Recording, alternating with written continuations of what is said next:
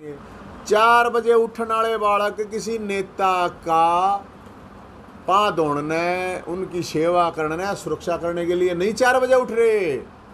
ये देश की सेवा करने के लिए, अपनी वर्दी के लिए जा रहे हैं। तो ठेके पे गुलाम रखे जाते हैं, जवान नहीं रखे जाते।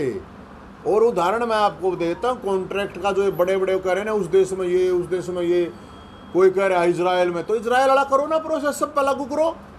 अग्निवीर इतनी बढ़िया स्कीम है तो चार साल की बजाय एक साल कर दो। हर एमएलए एमपी मंत्री, सबके बालक हैं, मुख्यमंत्री। भेजो ना अग्निवीर बनाओ, उनको भी एक लाख रुपए का इनाम देंगे। जिस नेता का, किसी एमएलए एमपी मंत्री का बेटा अग्निवीर बनाओ है इन कहते बनाएँगे।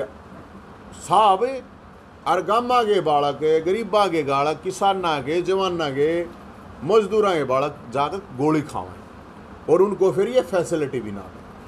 तो ये जो पॉलिसी है, ये बिल्कुल गलत है। और इसमें एक और चीज़ है। भाई चलो, हमने तो के बेराइन एक्सपर्ट को ना मान लिया, हम तो जो बालक तैयारी कर रहे हैं, ये अपने आप का विरोध था, किसी पॉलिटिकल का कोई मतलब नहीं। पॉलिटिशियन कोई चार बालक अपने घुसा दे, बीच में उतर करवा दे, एक अलग बात है।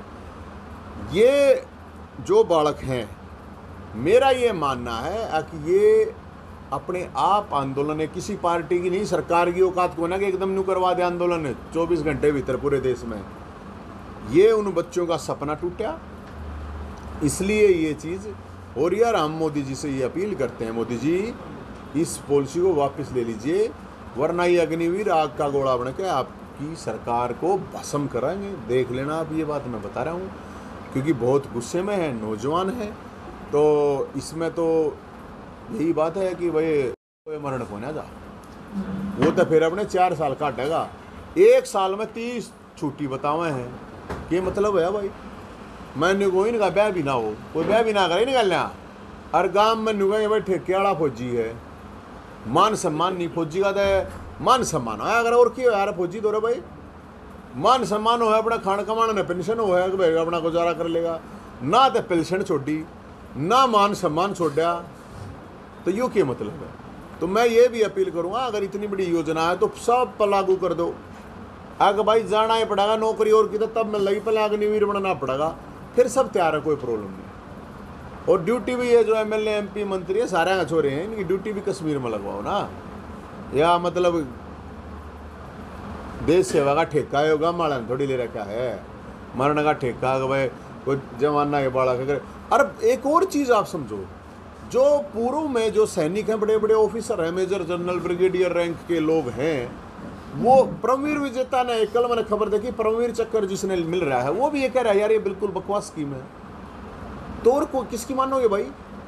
जो ये कह रहे हैं, न्यू क्या क्या क्या राजनीति वाले कर रहे हैं, राजनीति, ये ये कोई तरीका सही नहीं राजनीति वाले कर रहे हैं तो आप समझाओ ना लोगों को, लोग गुमराह कर रहे हैं, अरे सरकार, इतना बड़ा सिस्टम सारा चीज़ गुमराह के डरावे हैं बड़का ने बोला प्रोटेस्ट मत करो, ये मत करो, वो मत करो। क्यों भाई? किसा ये बाप का देश है गे हो लोकतंत्र में सबको शांतिपूर्ण तरीके से प्रोटेस्ट करने का हक है। और फिर एक और चीज़ आई। मुख्यमंत्री का कल बयान आ रहा था अग्निवीरों को नौकरी दूँगा मैं चार साल बाद। अरे नास्त्रे धर्म है तू? अब चार साल के बाद रहेगा मुख्यमंत्री। रहेगी सरकार? या तुम खुद रहोगे? चार दिन का तो भरोसा नहीं किसी का। चार साल की गारंटी दे है। और फिर अगर मुख्यमंत्री जी गारंटी दे रहे हैं तो मैं मुख्यमंत्री को याद दिला रहा हूँ, चार साल पुरानी घोषणा होगी। वे पूरी करते हैं क्या की गारंटी दे है? अग्निवीर आगे बाबू बैठे हैं, पच्चीस हज़ार एक्स सर्विसमैन नौकरी के लिए अप्लाई कर रखा है। उनने दे देने।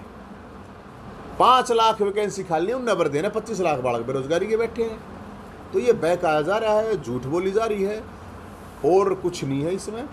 और सरकार से हम यही कहेंगे यह चीज़ ठीक नहीं। हमसे जुड़े रहने के लिए हमारे YouTube चैनल को सब्सक्राइब करें और नई वीडियो की नोटिफिकेशन के लिए बेल आइकॉन को दबाएँ।